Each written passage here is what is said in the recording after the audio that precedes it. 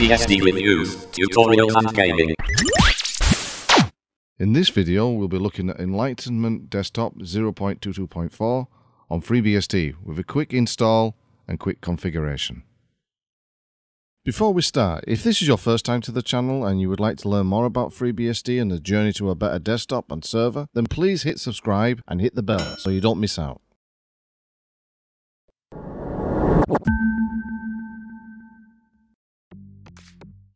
Right, first off, what we need to do is go into Super User. And we're just going to search uh, to make sure that we've actually got Enlightenment in the uh, package database. Yeah, there it is, look, 0.22.4.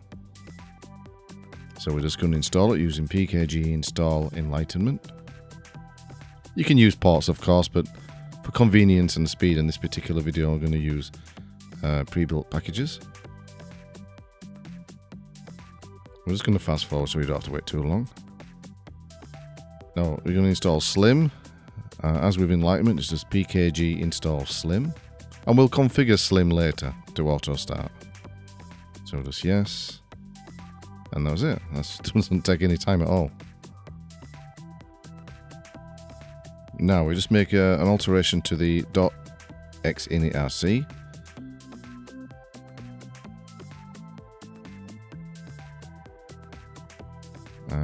exec USR forward slash local forward slash bin forward slash enlightenment underscore start. So start X, we're going to test it. So on this opening screen, uh, choose the language which uh, suits you. In this case, it's British English. And keyboard layout would be uh, UK. Now you can choose um, tiling, computer or mobile. Uh, it's an interesting choice. But I'm just going to stick with the default, which is uh, computer. And it tells you uh, at the bottom, configuration devices with keyboards. It's just, they're basically the same with one or two different altered key combinations. So I'm going to keep it at the default. Right, the next one is an interesting one. It actually asks you to choose what font size would you like to be displayed. Um, I got a feeling that I should really choose the largest I can get away with, but I think that 1.0 is the best one focus. So you can have an old-fashioned Unix style or new modern style. So sloppy or um, click, I think that's what they describe it as. And you can set up your different key combinations or your magic key as it was. Uh, oh, I need to sort that one out when uh, we're finished. Turn composite effects on or off. Um, I've got a feeling I should turn them off, but I'm going to leave them on for now this old computer, the old test machine I'm using now, it'll probably struggle. Uh, no, we don't need to check for uh, updates.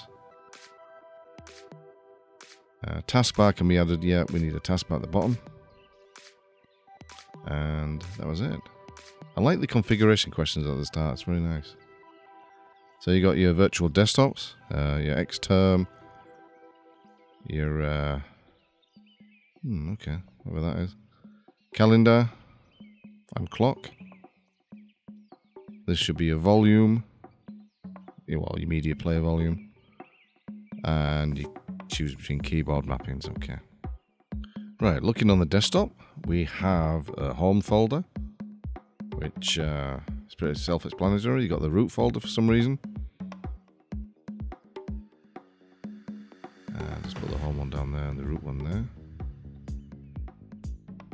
So it looks really nice. It actually works quite well on this old machine. And you've got a temporary folder, which is almost like the RAM disk in a way. Maybe, maybe not. I do like the way it looks. I like the theming on this. Very nice. Mind you, Enlightenment is known for its um, eye candy abilities.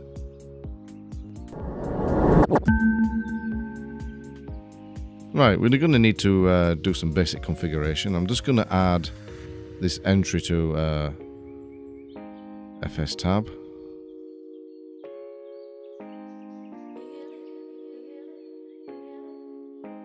Save that.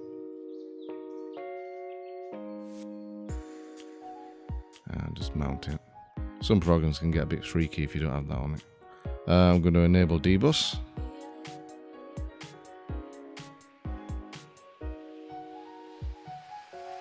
And enable slim at startup. And now we're going to install a few basic applications, GIMP and Firefox. And LeafPad, which is a basic text editor.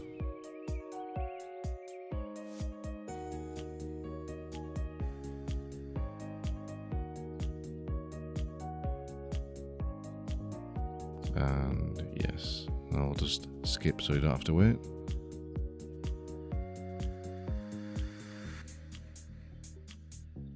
Right, we're finished.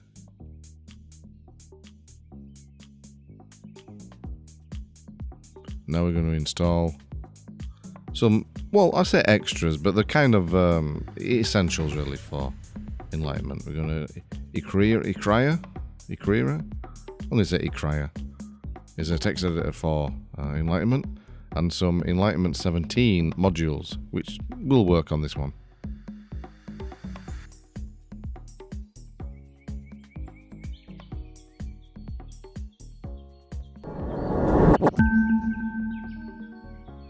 Right, doing a reboot.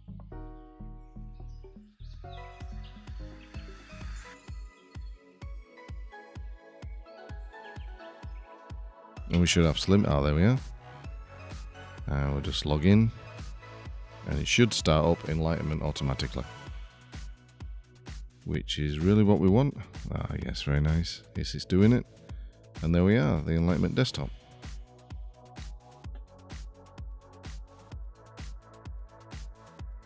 So we'll have a look down at the menu entries. There are... This was a, a clean install of FreeBSD, so there's really nothing added. Everything you see on here is in the uh, Enlightenment packages, uh, except for GIMP and Firefox and LeafPad, which you can see. And a few of the modules which we loaded after, but basically everything is uh, comes with Enlightenment. There's a lot of options which I, I feel is, is unnecessary repetition, really. Um, it's, it's how many different ways do you need to get to your home folder other than the obvious? It's, uh, well, you know, it's, it's this thing.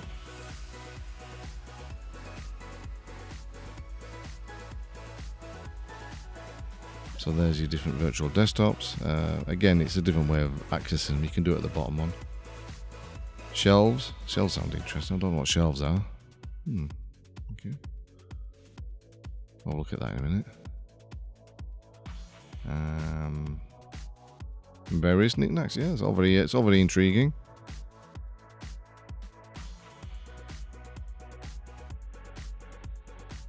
There we go. Okay. And yeah. I've not used uh, Enlightenment for, oh, it must be 20 years. I think it started in 1996, I think, the initial project. So I think I remember using this on. Um, could have been Debian, I'm not sure.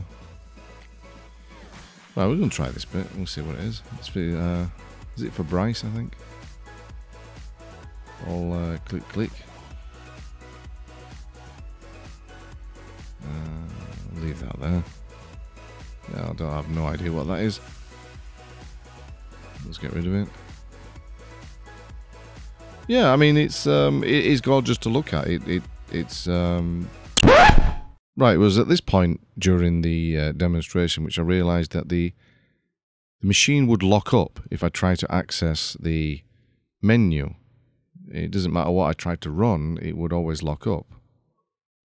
So after a restart, so you might notice a discrepancy at the time in the bottom, and I try something else on the menu, it would just freeze again. And reboot again. And and it's not really letting me do anything. It could well be that the this machine is really old and the graphics can't keep up with the composite effects. Maybe if I'd had disabled them, it might have uh, improved things. But as it is, um, unfortunately, I couldn't get it working. So this is really a case of your mileage may vary. Well, this was my experience of using this on this very old test machine. It could well be that if uh, if you use it in a more modern system with better driver support, then maybe it would perform better. Uh, which is a shame because I think it's a gorgeous looking desktop, and um, some of the examples I've seen are absolutely mind blowing. But in this instance, on this old test machine, uh, I couldn't get anything to work other than freezing up the machine, so um, I can't proceed. So, anyway, thanks for watching, and I'll catch you next time. If you want to see more videos like this, then hit that like button. And to make sure you don't miss out, please consider subscribing, as this really helps me help you.